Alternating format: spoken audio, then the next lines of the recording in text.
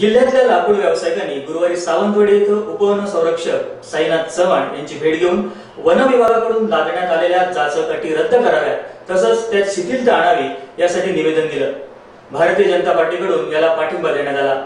भारतीय जनता पार्टीचे प्रदेश चिटणीस राजन तेली आणि जिल्हाध्यक्ष प्रमोद जठार यावेळी उपस्थित होते. सर्व लाकूड व्यापाऱ्यांना वृक्ष लागवड करण्याच्या सूचना उपवन संरक्षक समाधान चव्हाण यांनी यावेळी दिल्या.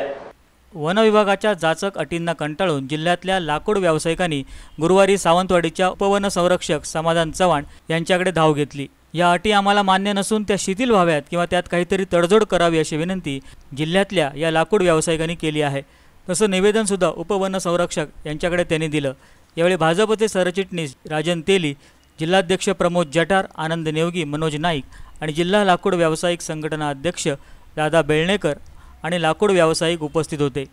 ह्या विषयावर चर्चा घडवण्यात आली. चर्चा घडल्यानंतर जे ज्याच्या गटी वन खात्याकडून किंवा वन खात्याच्या संबंधिताकडून लादण्यात आलेले आहे आपल्या लाकडाच्या संदर्भात. त्या अटी रद्द करण्यासंदर्भात चर्चा झाली. चर्चा खेळमेळच्या खेळमेळ्याच्या वातावरणात झाली आणि बऱ्याचशा अटी शिथिल करण्याच्या संदर्भात डीओपीने सहमती दर्शवलेली आहे.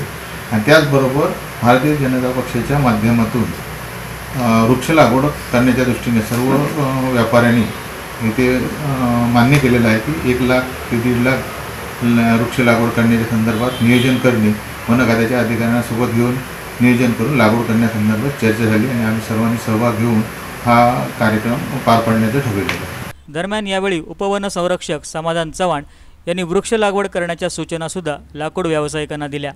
अमित पालव कोकण नाऊ सावंतवाडी.